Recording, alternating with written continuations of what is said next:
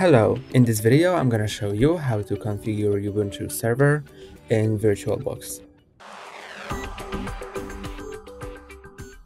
First, let's press on new in VirtualBox, then let's name our virtual machine. Now let's choose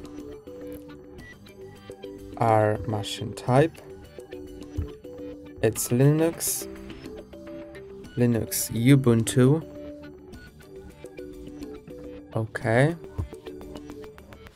You can select an ISO, ISO image here, but I'll skip it and add an ISO image later. Let's choose our memory and CPUs that's about fine and I'll change CPUs to two cores. That should be alright now let's choose our disk size. Next finish. Okay and now let's append our ISO by pressing on settings then storage. Now press on empty DVD. Let's press on this DVD picture and now choose a disk file and I have my ISO downloaded from official Ubuntu server site. Okay, open.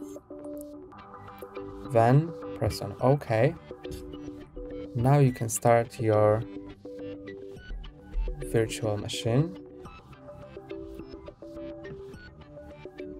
Okay. Let's enter try or install Ubuntu server. Also, I'll maybe scale the window a bit. Okay. After that, you can choose your language. I'll choose English. To navigate through the system, use arrows. I'll choose English and press enter. And then keyboard layout. You can choose it by pressing on enter and and then selecting from the list. I will set it to English United States. Okay, enter to go further then I'll go I'll press on done but you can also change the settings. Now let's configure our network interface. I'll press on done because it's automatically configured. You can enter your proxy address. I'll press on done to skip it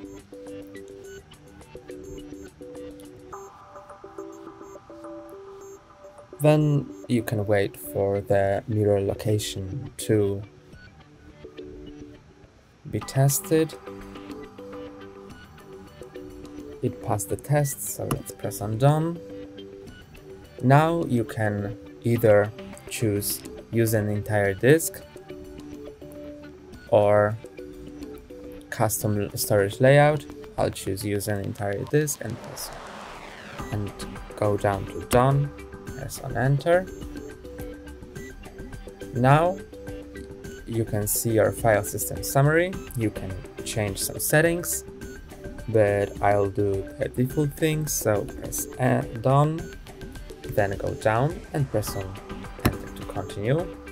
Now create your user account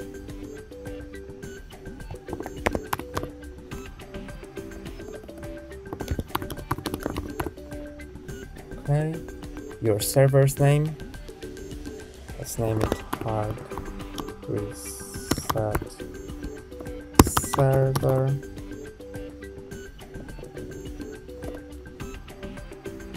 Pick a username and choose your password.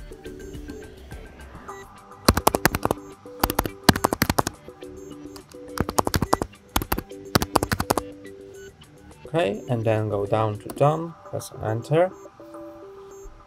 Now uh, go to continue. You can also enable Ubuntu Pro,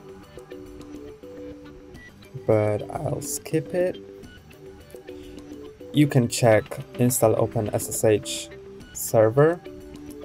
I'll check it to install it while installing Ubuntu server. Now you can check another uh, services to install in server. I'll skip it and just go to done, enter, and now it's installing.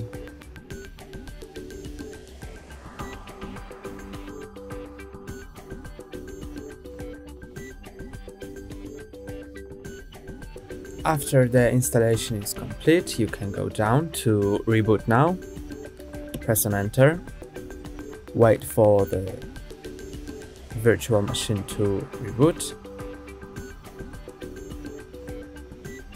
Okay, let's remove the installation medium.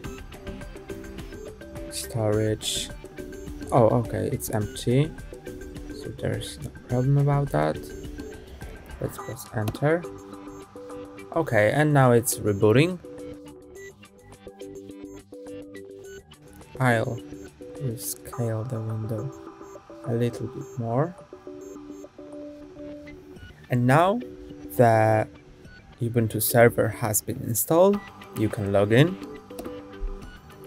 by pressing enter and then enter your login and password. Enter. You've been logged in and that's all for today, don't forget to like and subscribe, see you next time.